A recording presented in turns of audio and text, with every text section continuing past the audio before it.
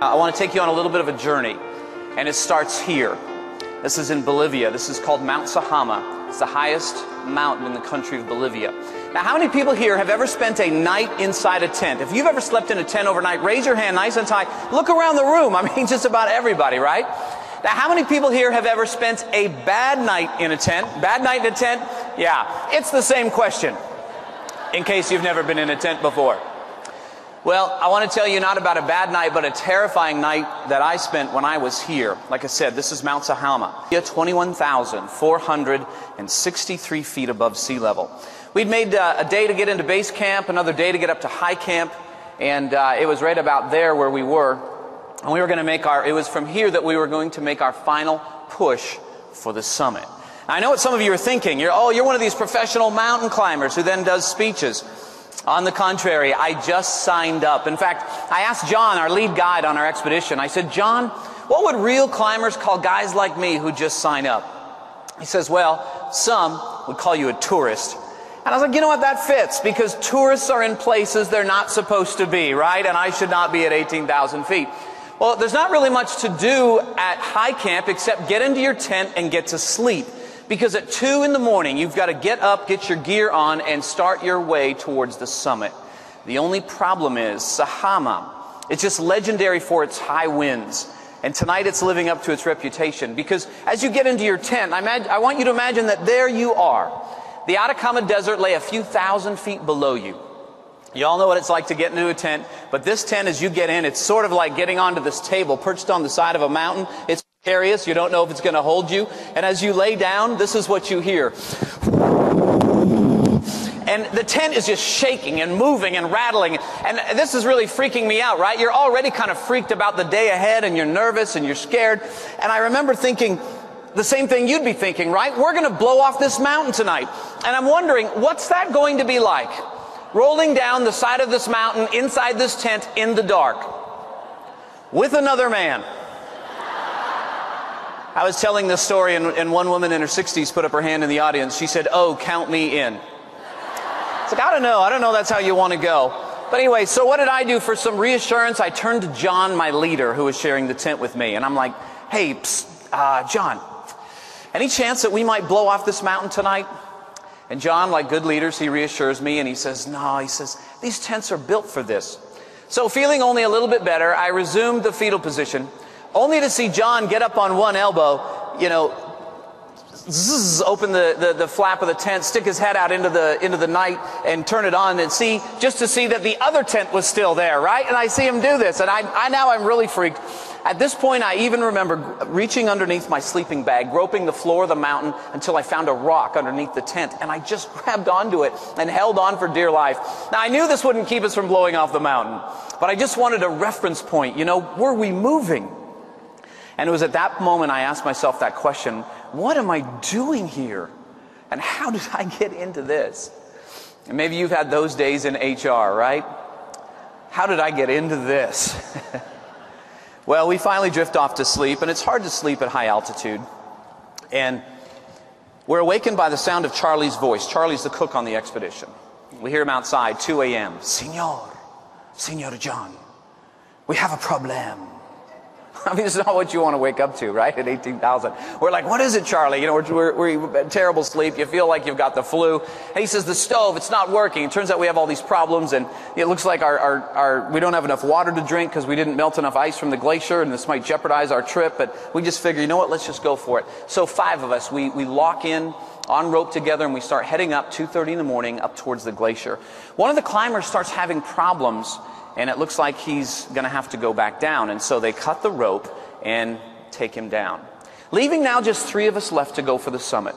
Osvaldo, our lead guide from Bolivia, Jim Sibley, a guy from North Carolina, and me bringing up the rear.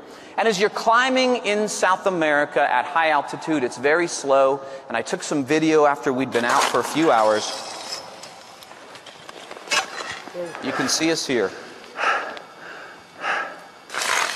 That's Jim in front of me. That's Osvaldo in front of him. And I'd love to say it's more romantic than that, but it's like this for hours and hours and hours. And you can see how slow you go and how hard you're breathing. Well, after we climb for, I don't know, maybe about, a, uh, we're, it's almost noon. We've been climbing a long time. Jim, he starts to get tired. He's starting to stop all the time. He's starting to, you know, lean over, lean on his ice axe and say things like, this is tough. And go a little bit further and he'd stop again. I don't know if I can do this. And what's happening is the mountain is beginning to wear Jim down. And he's starting to doubt whether he can do this or not, except we have a problem. Because if Jim quits climbing now, it's over for everybody. We're down to our last piece of rope, our last guide, and if he quits, we all go back down. So what Jim needs now is motivation. In fact, what he could really use is a motivational speaker climbing right behind him but all he has is me, right? So, but no, hey, motivation's my thing, and so I get to work. Come on, Jim, we can do this one step at a time. That's how you climb a mountain. We're almost at the top. Hours, and hours from now, and I keep urging him on, and this goes on for maybe about an hour, and all of a sudden it's like somebody pulled my plug. You know that happens to you sometimes, 3.30 in the afternoon? Someone pulls your plug, and I had no energy. And then I'm the one leaning over going, this is tough. And now I'm stuck because I don't know if I can do this. Soon turns into, I don't know if I want to do this. But now I'm, I'm the one in trouble, right? Because if I quit, it's over for everybody. And I'm thinking, how do you go home and turn that into a speech, right? And so I remember being in this very bad place thinking, how do I get off this mountain without quitting? And it's like, it hit me like a lightning bolt. And I realized, that's it. I don't need to quit to get down. I just need Jim to quit. Because if Jim quits, it's like an honorable discharge from the mountain, right? I can still go home and I can say, well, I would have made it to top if it wasn't for this guy. And so now what happens with the, with the encouragement and the motivation from me? It starts to dry up, right? And when Jim says, wow, it's tough, what do I say? Sure is. Oh, you've been there. Well, the problem with knowing how to motivate, you also know how to demotivate, and I know what's keeping him going. It's, it's me. He doesn't want to let me down. So I'm like about to kick those legs out from under him, and I'm like, hey, Jim. He's like, yeah, we're climbing. I'm like, listen, I'm not obsessed with the summit. If you, if you need to go down, that's okay with me. He's like, no, must keep going. No, really, Jim, safety first. Anyways, this, this madness goes on for another maybe hour, and finally Osvaldo, sensing that Jim is at his limit, decides to call a meeting. It's hard to have a meeting at 20,000 feet because there's no place to sit.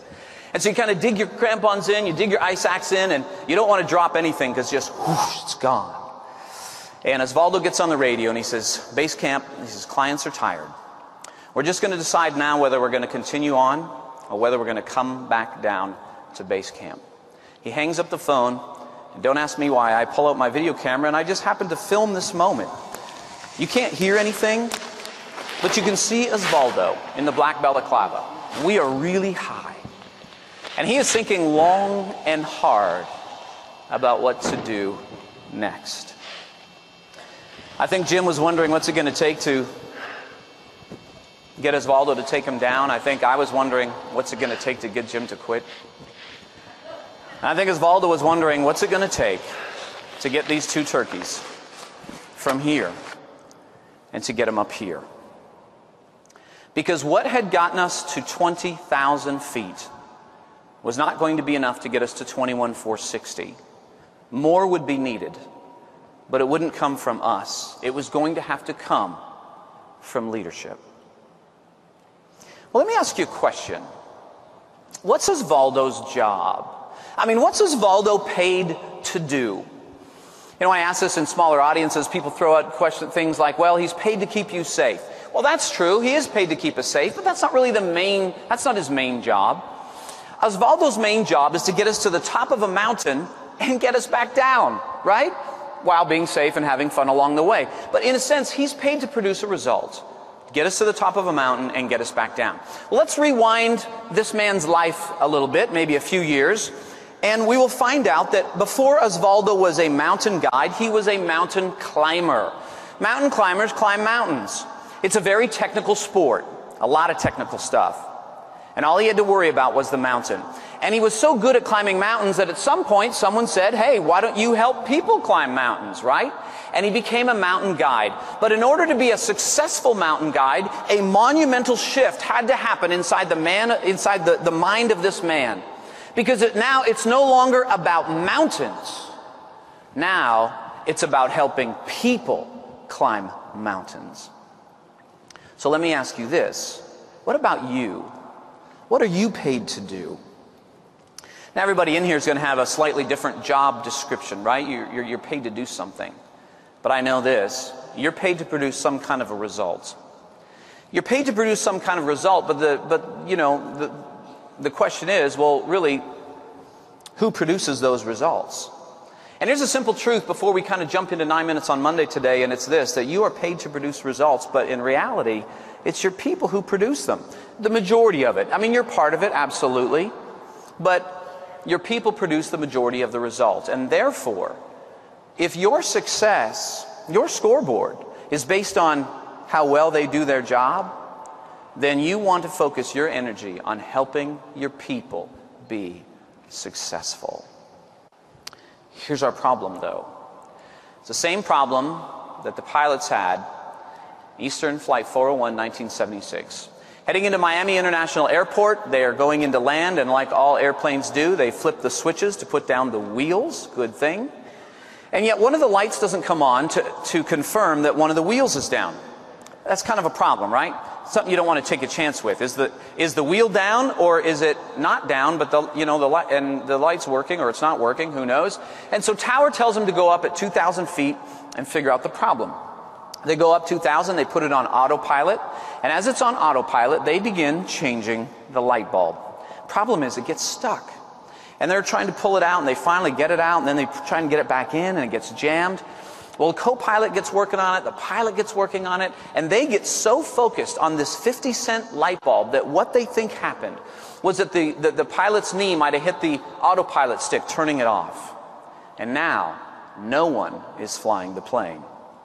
And when no one flies a plane, it tends to do one thing it descends. And so through the middle of the night, it's descending. There's no visual cues. Meanwhile, there's a whole dashboard of gauges that tell them that they are going down, but no one's paying attention because everyone is absorbed with the 50 cent light bulb. They get to 500 feet. An alarm goes off in the cockpit to tell them you're at 500, just kind of standard. No one picks up on it. 400, 300, 200, 100. Finally, our radios and says, Hey, Eastern, everything okay up there? Co-pilot's like, Yeah, but we're at 2,000, right? And then they're like, Hey, what happened to our altitude? And by then it was too late to course correct and they crashed. It's just a sad, tragic story. It's a tra- tragic story about what happens when leaders get away from their most important thing. And for a pilot, that's flying a plane. Was the 50 cent light bulb important? Absolutely. It was really important. It was critically important. Was it more important than flying the plane? No, it wasn't. Well, for us as managers, the challenge for us today is that we're so busy changing light bulbs. And they're important light bulbs. They're things that, that we, we have to do. We have to get them done. But the problem is we get so busy with, with all the light bulbs that we're changing that we forget to fly our plane and which for us is helping our people be as successful as we need them to be. And so that's what nine minutes on Monday is all about. Nine minutes on Monday is like a safety system. As if somebody was able to come into the cockpit, grab the, co- the pilot's hair and lift it up and say, look at your gauges and make sure you're flying the plane. Well, that's kind of what nine minutes on Monday is, except for managers. And it's based on a very simple ritual. And that is that every Monday morning, when you come into your office, before you check your email, before you, before you get your to-do list out, before you focus on all your strategic objectives, you sit down. Maybe get your coffee first, but other than that, you sit down and you ask yourself nine questions that all have to do with staff engagement and productivity. The answers to which will guide you that week and give you some simple, actionable goals that will help keep your people moving. What you're going to hear today is that I'm going to try and convince you that it's the simple things, it's the little things that make the difference over the long haul. It's the little things. And it's based on these nine needs. And if you don't have your handout yet, it'll be coming around soon. But basically, these nine needs are like switches. And every time you meet one of them in an employee, it's like it, you switch this, this switch on for a little bit with their own motivation. Problem is, you got to you got to keep doing it constantly, over and over and over again. And we're going to walk through these nine minutes, these nine needs this morning and this afternoon rather. And the first one, the first three, have to do with needs of the individual employee. Okay? So does this sound like time well spent here this afternoon? Okay.